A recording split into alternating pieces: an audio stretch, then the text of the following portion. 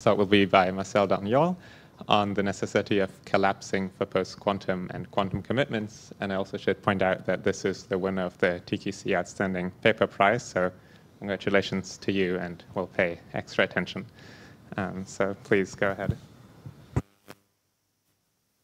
Okay, so uh, should I just get started or wait for the three minutes? I guess that um, I'm I'm happy to do either. I think you can just get started. Okay, great. Um, okay, so uh, welcome everyone. Um, and I, am really sorry I couldn't be there in person. This would have been uh, you know great opportunity to uh, to meet, see Portugal, and be somewhere where they speak my language. But um, unfortunately, it did not work out. Um, so I'm going to talk about uh, recent work with Nick Spooner um, on um, certain sort of like uh, fundamental notions in, in quantum cryptography. And uh, I should say that like there's a longer version of this presentation online. So I'll spend a reasonable amount of time going through proofs here, uh, but only at sort of like a somewhat high level. If you want the details, please feel free to, to check that out. And if this piques your interest, um, there's, there's a longer version available as well. Um, okay, so I'll divide this into like three parts. Um, first to give you an introduction uh, to some notions in classical cryptography. So for the time being, everything is classical. Um, then I'll mention so like some complications that arise when uh, these adversaries, even if the uh, the scheme is classical, if the adversary is quantum, certain things might break down. Um, and that's where sort of like one of our main results is. And then I'll mention sort of like a second part, uh, a second set of results that has to do with quantum rewinding. Okay, so uh, let me sort of like first introduce the you know the the main object of interest here uh, in our paper, which is uh, the notion of commitment schemes. And a commitment scheme is just you know some uh, protocol between two parties, a sender and a receiver, that computationally realizes the following sort of like physical protocol. You know, the sender wants to send a message to the receiver, but it wants the receiver to only be able to read the message once the sender has authorized it to. So what it can do is it can write this message down on a piece of paper, put it in a, a safe, lock the safe, and then send the safe without the message. So at this point, the receiver has you know a locked box that it cannot peer into. Um, and then whenever the receiver uh, allows the sender to uh, open this box, it just sends the key, and then the receiver opens the box and can read what's inside. And in this case, you know, the message is some bit B. Um, I should note here that um, we will only focus, like commitment schemes uh, satisfy two notions, hiding and binding. Binding means that whenever the sender has sent a message, it cannot change its mind. And hiding means that the receiver cannot read the message before receiving the key. We'll only focus on binding. So for all we care, all of these results apply just the same to the case where the sender sends a message in a transparent box. Um, and of course, this is not like the interesting case, but I should highlight that, you know, we're only going to focus on like one of the two characterizing um, properties of, of commitment schemes. Uh, something else that I should note is that in order to keep things simple, um, I'll focus on bit commitment schemes where the messages are all classical. But all of these results generalize to the case where the messages are strings rather than bits and where both like the locked box and the and the key could be quantum states. So uh, throughout this talk, all of the messages that are sent back and forth are just classical messages, but the, the results extend to when they are quantum as well. Okay, so a bit more formally, a bit commitment scheme consists of two algorithms with the following syntax. A generator receives as input a, some security parameter lambda and samples a key. And the idea is that you know the key uh, it, it should be harder to break the system the larger the security parameter is. And uh, the commitment just takes in a key, a bit, and some extra amount of randomness that we'll call it an opening. And with those three, it generates some string. Um, and we say, you know, in this parlance, like in this uh, setting, we say that um, some string omega opens the commitment C to the bit B if this identity is satisfied. So just to go back to this previous picture, you know, the locked box uh, the commitment serves the the the role as the locked box, and the opening serves the same the same role as the the key.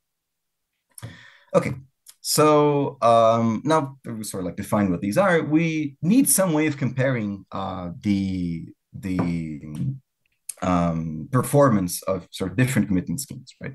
And the way we do this is by uh, you know, stating some notions of security. I'll mention two uh, in in the classical case: computational and sum binding, and I'll, I'll mention like what they have to do with one another in a bit. So computational binding is rather standard. It's probably something that you've all seen. Um, we say that a scheme is computationally binding if if we sample a key, hand it off to some polynomial time adversary, and it replies with two openings, the probability that these openings are valid to distinct bits should be very, very small. And in you know cryptography, the notion of very, very small is smaller than any inverse polynomial, which we call negligible. Okay, so this is uh, computational binding, but I'll argue that in fact, like it's in order to compare this to different notions, it's useful to think of computational binding as a game, where we have an adversary on the right hand side and a challenger that will try to, you know, check if the adversary is um, is able to produce to, to break the system or not. And the game in the computational binding case is quite simple. The challenger samples a key, sends it over to the adversary, and the adversary replies with two openings and the adversary wins if the openings are valid to distinct bits. Uh, so another way of stating that the that a scheme is computationally binding is that uh, no polynomial time adversary can win with this game with more than negligible probability. Okay, so that's computational binding. Let me move on to sum binding, uh, which is characterized by the following game, just slightly different. So as before, the challenger samples a key, sends it to the adversary, and now the adversary sends a commitment string. So the, it could either be playing honestly, in which case the adversary chose a bit, chose an opening, and then computed the commitment according to these. Uh, or it might be doing something different if he's cheating. And now, only after receiving the commitment, the challenger will sample a random bit and ask the adversary to open to that bit. and now the adversary replies with an opening, and it wins if the opening is valid to the bit the challenger asked for. So note that if the adversary is just playing honestly, it can win this game with probability one half quite easily, right? It just chooses a fixed bit and commits and decommits according to it. So we'll say that a commitment scheme is sum binding if no polynomial time adversary can beat this sort of trivial one half probability by much. Okay, so this is like the comparison between the two. And let me just mention that, you know, like, why do we care about these things? Well, it turns out that like security proofs for like different different in different settings might rely on something that looks more like one game versus something that looks more like the other um, and it would be interesting if we could you know prove that these things are equivalent in the classical case this turns out to be the case and i'll try to give you like a short the, the proof of this is really not too complicated and if i could choose one thing for you to remember from from this talk would probably be uh, this this is like a neat five minute introduction to cryptography in a sense. Okay, so uh, we want to prove that computational and binding are equivalent. The way we do this is generally via the contrapositives. So we assume that a scheme is not computational, computationally binding, and we'll try to prove that it's not sum binding. So if a scheme is not computationally binding, there exists some uh, adversary that wins the computational binding game with larger probability than it should, with inverse polynomial probability. Um, now, what we'll do is we'll use the, the computationally binding, computational binding adversary to construct a sum binding adversary. So we just hand off the key that we received from the challenger to the computational binding adversary, let it run for some polynomial amount of time, and it'll reply with two openings. Maybe they're valid, maybe they're not. So if they're valid to different bits, then we can just continue playing the game with this common uh, string here, that is the commitment to both cases. And if the, the, the two openings are not valid to distinct bits, then we'll just have the sum binding adversary play honestly.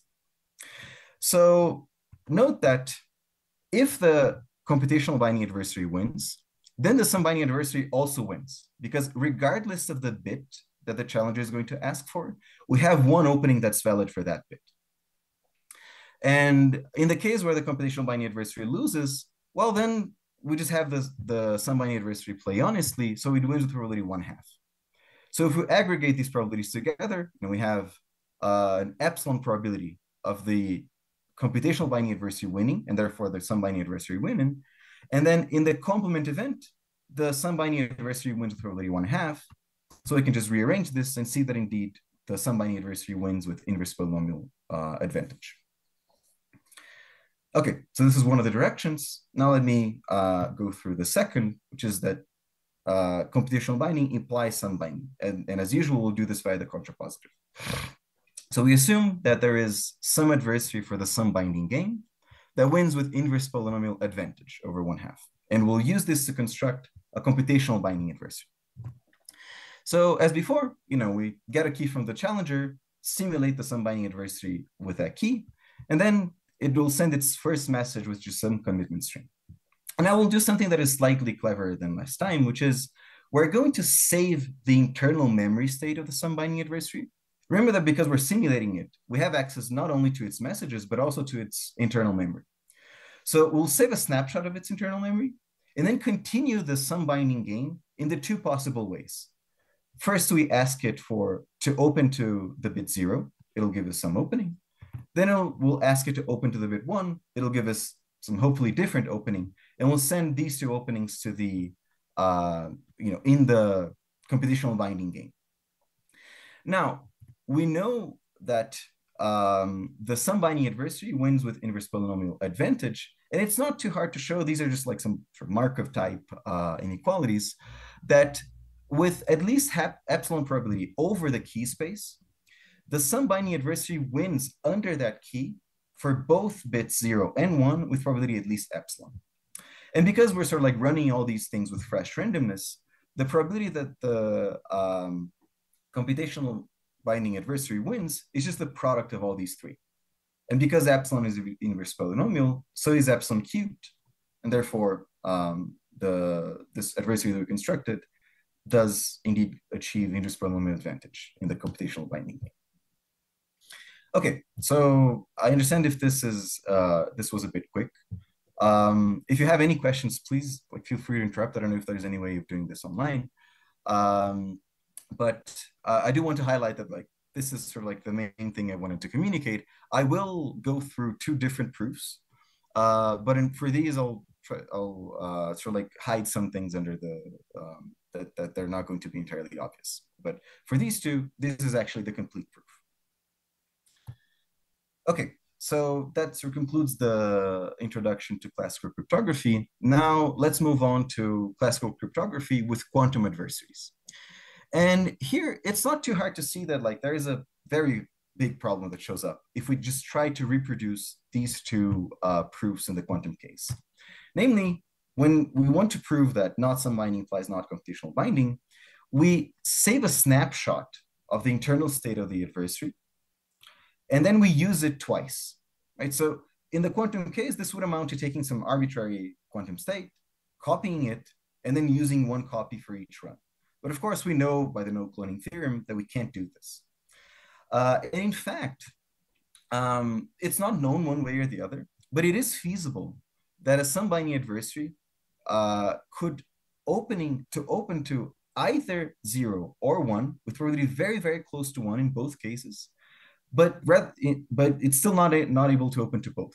So what will happen here is that there's like some very special quantum state uh, that we can use to open to either of these two. But when we do, we uh, we apply some measurement and we completely destroy the state, and we can't reuse the the post measurement state to try and open to the other bit. And in fact, this will uh, show up at, at, the end of this talk again. Um, okay, so you know we have a problem. Uh, one way to fix this, and in fact, this is uh, this has been very fruitful. Like many um, security proofs that broke down in the quantum case can be fixed by this stronger notion of co collapse binding. So I'll introduce a third and last game, uh, which is slightly different from uh, the previous two in, in a couple of different ways. The first way is that this will be a quantum game. So there will be quantum messages sent back and forth. And the second difference uh, I'll mention uh, at the end of this slide. Okay, so as before, you know, the challenger samples a key, sends it to the adversary, and now the adversary will reply uh, not only with a commitment, as in the sum binding game, but with a commitment and a quantum state, a quantum state in a bit and an opening registers. So at this point, the challenger uh, will sort of like flip a coin, and depending on the coin flip, it'll measure the bit register or not. Then it sends the, the two registers back to the adversary. And now the adversary's task is to guess whether the uh, challenger measured or not. So it'll send a guess. And you know, if it guesses that the the challenger measured when it did, it wins. And vice and likewise, uh, if the challenger did not measure and um, yeah, if it did not measure and the adversary guesses that he did not measure. Um, now this might look a bit odd, um, but let me, so there is one key uh, thing that we have to add to this, which is, well, you know, the game itself has nothing to do with the, with, um, um, with the commitment scheme. So we need to ensure that whatever this quantum state is that the adversary sends, it must be a superposition of valid bits and openings with respect to this uh, commitment. It's not too hard to change this uh, game to allow the adversary to send anything it wants, but the two things are equivalent and this like, simplifies proofs a bit. So we'll stick with this. And let me just remark that, you know, while this might seem like a rather strange um, scheme or a rather strange condition, basically what this is saying is that whenever the adversary has a superposition of valid things, uh, it's basically as useful as just having a distribution over valid things because it cannot distinguish whether this, you know, perhaps very complicated uh, superposition over many things has been measured or not. So it, it's sort of saying like whatever quantumness the adversary has cannot be exploited by means like interference and whatnot. Okay, so this is the collapse binding game. And now um, I'll go through uh, you know the, the slides. I'll, I'll, I'll say that the slides are uh, have quite a bit of text but I'll try to go through the main idea mainly. Uh, we'll show that collapse binding is equivalent to sum binding. Um, and you know as before note that like there's a very simple strategy with which the adversary can win the probability a half. You can just get guess the the bit that determines whether the ch challenger measured at random and we say that you know scheme is collapse binding if a no polytime quantum adversary can win this with probability much more than a half. Okay, so it turns out that in fact, like the other direction that worked in the classical case also works in the quantum case. So we know that sum binding implies uh, computational binding, which is a know if the converse holds. And what we'll prove now is that collapse binding implies sum binding. This is something that has been proven before uh, by Unruh, but we extend this proof and arguably simplify it by uh, also extending it to like the quantum commitment and to string commitments as well.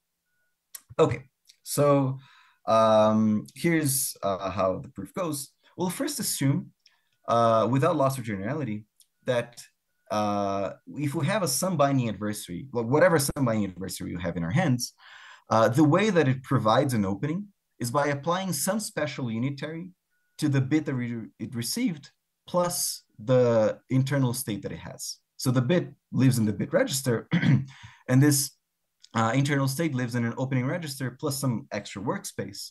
Then it measures the opening register and sends whatever outcome that is. So we can assume this is how the sum binding adversary behaves without loss of generality. Okay, so we'll use this unitary to construct a collapse binding adversary. And as before, we'll prove the contrapositive. We assume that we have a sum binding adversary that wins with inverse polynomial advantage and we'll construct an adversary that wins the collapse binding game with two larger probability.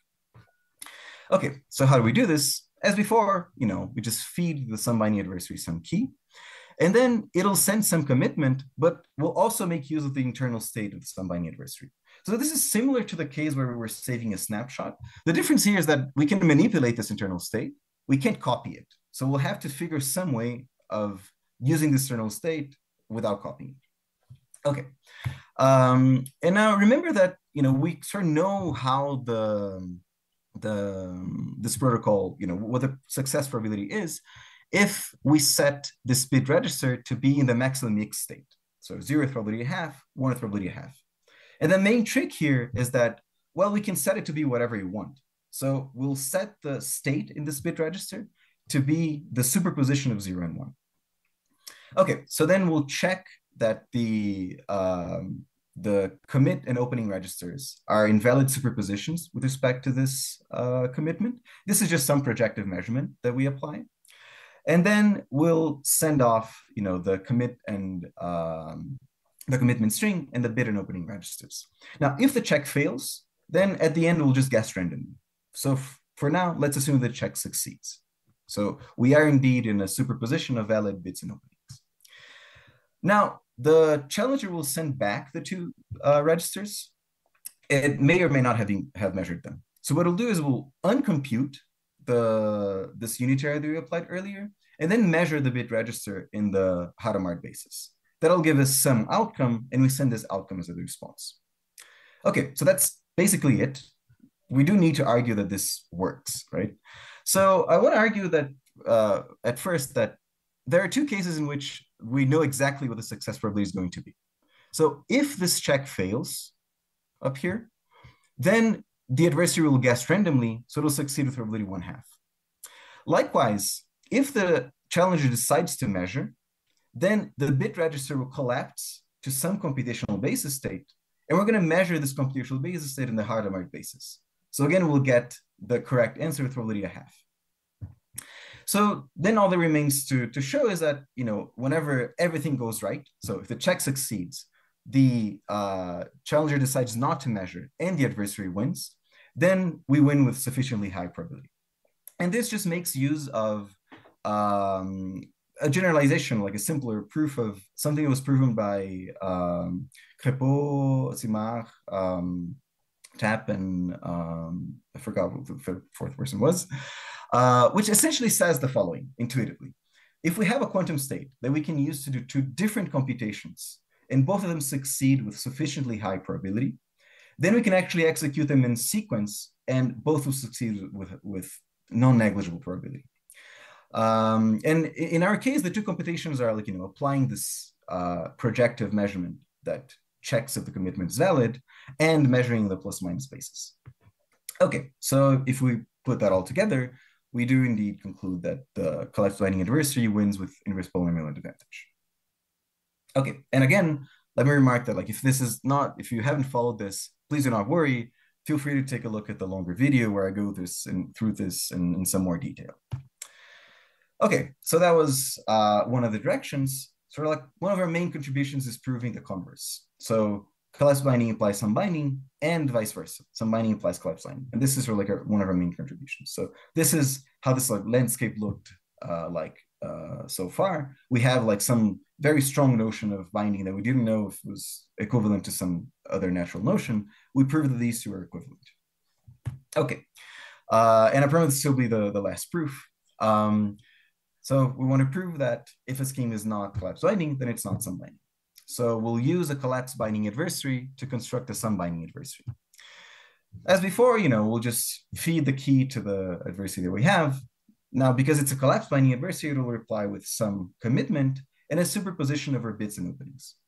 Now note that because the collapse binding adversary uh, always replies with a valid superposition, we can always just measure the bit register and see, you know, and we know that we'll be able to open to this bit. Now, we'll send the challenge back to the, uh, sorry, send the commitment back to the challenger. And at this point, the challenger will ask for us to open to some bit, some bit B. Now, we obtained this bit B prime before. If we're lucky enough that these two bits match, then we know that the uh, opening register is in a valid superposition, like it's in a superposition of valid openings. So we just measure it and send the corresponding opening. In this case, we are ensured that we'll win the sum binding game. Now, of course, it could be the case that the bit that we obtained before is not equal to the bit that the challenger asked for. In that case, we're going to use the collapse binding adversary to give us a second chance at making the same measurement. So we'll send you know, the bit and opening registers back to the collapse binding adversary, and the adversary will apply with a guess a bit and some internal state. Now note that from the collapse binding adversary's point of view, it should guess one, right? Because the bit was measured. But in fact, we'll completely disregard this and only use the internal state that the collapse binding adversary has. Okay, so what we'll do is now we have this bit and opening registers again, we just measure the bit register along with an opening. If we're lucky enough that the second measurement gave us something different from the first, then we send the corresponding opening. And now this is, of course, not obvious, but uh, one, like we prove a technical lemma that basically says that the larger the probability the collapsed binding adversary uh, can distinguish between measured and non-measured, the larger the probability that these two uh, measurements are uh, yield distinct outcomes. So by plugging all that in, you know, the, what is the probability that the sum binding adversary wins? Well, either it got the right bit the first time around, or it got the wrong bit the first time around, but the, the right bit the second time around. So then we just plug in uh, all these things. You know, this this is one half. This is related to this probability uh, of distinguishing here, and we obtain um, inverse polynomial advantage in this case as well. Okay, so this sort of like concludes the the part about like um, uh, you know notions of, of binding and equivalence or not between them. Now let me mention very briefly. I'm not going to get into uh, any details of proofs of some applications of quantum rewinding. So I should highlight that this is not exactly how things are written down in the in the conference version of the paper, but we'll try to we'll hopefully make uh, the full version with this these updates available soon. So this the, the two applications rely on one common lemma, which is uh, how we can take an arbitrary adversary and make it structured. So, um, oh. sorry. Is, can um, you hear us? Oh, sorry. Uh, am I running out of time? I'm sorry about this. Um, uh, yeah, it, can you hear us? Yeah, yeah. okay, yeah, it'd be good if you could like wrap up within the next minute or two. Yeah, okay. Uh, all right then. So so let me just give you like a very high level idea of how this is going. Um, you know, a sum binding adversary could win with uh, you know the, the success probability of a sum binding adversary could look like many different things with respect to the key space. You know, maybe it wins probability one in a some somewhat large fraction of the key space and zero elsewhere, or it wins the same probability everywhere all over the place, and so on. There like many different shapes or different distributions this uh, this could um, look like. And what we do is we can take an arbitrary adversary and make it structured in the sense that for a small but not negligible part of the key space, we can take we can construct an adversary that wins with probability almost one. And now this relies on some uh, quantum singular value algorithms, which I'll not get into. Um, but let me remark that you know uh, so our main result in this setting is that while we can't prove the converse, like computational binding implies sum binding, what we can show is that if a, there exists a scheme that is in this gap that is computationally but not sum binding, then we can construct interesting cryptography from it. So remember that like in the uh, a scheme is not sum binding if it can open if a scheme is not sum binding, then it can open to any bit with inverse polynomial probability.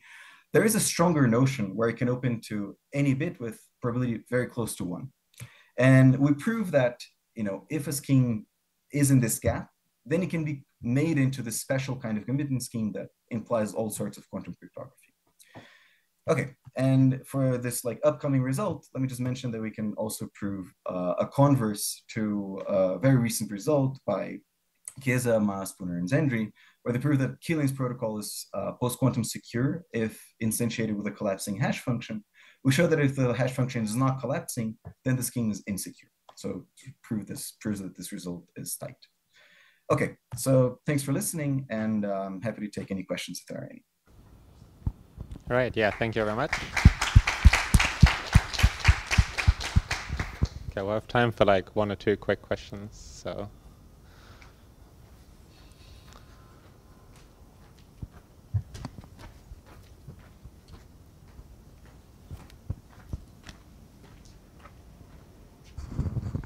Hi, um, thanks for your talk. My question is this last comment you made about proving that something's post quantum secure.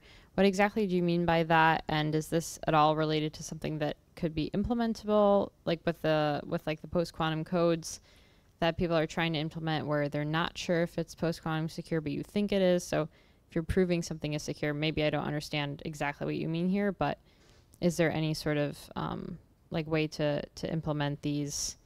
Um, I guess, you know, could you implement bit commitment unconditionally anyway? Um, it kind of in that in that direction. Okay, uh, th this is a great question. Um, so I should remark that like collapsing hash functions are a stronger notion than collision resistant hash functions. So this is all conditional on on something that is even stronger than uh, collision resistance, which we can't prove unconditionally, right? Okay. So um, yeah, th this is all conditional on something that's even stronger than what we can what we know to be true in the classical case. Okay, I think that helps. Thank you. All right, thanks. Uh, maybe one quick final question. Um, maybe you can like very briefly comment on why or why not these general rewinding techniques of like Alex and Fermi and, and so on. It, it sounds like you had to do a sort of fair amount of custom work. So why don't those general techniques work here? Um, in fact, we did not have to do that that much uh, custom work. We we could just so um, there are these two sort of like general quantum rewinding, uh, like you know QSVT algorithms that we can essentially just take and, and apply to our case. Uh, I mean, of course, that like, there's some amount of customization, but it's it's minor. Uh, this really is, and this is sort of like a mo more recent version of the of the previous work where they proved um, uh, Kilian is post quantum secure. Um, this is yeah, this this is like a, sort of like a more modern instantiation of these, and we can essentially use them uh, by just like restating the, the the algorithms and using them as they are. The thing that makes it more modern is like the QSVT over Marriott-Watrous inside of Marriott-Watrous, or okay. Yeah, yeah, exactly. Okay, cool. So, yeah. All right, then if there are no further questions, um, let's thank all the speakers from the session again. All right, thank you.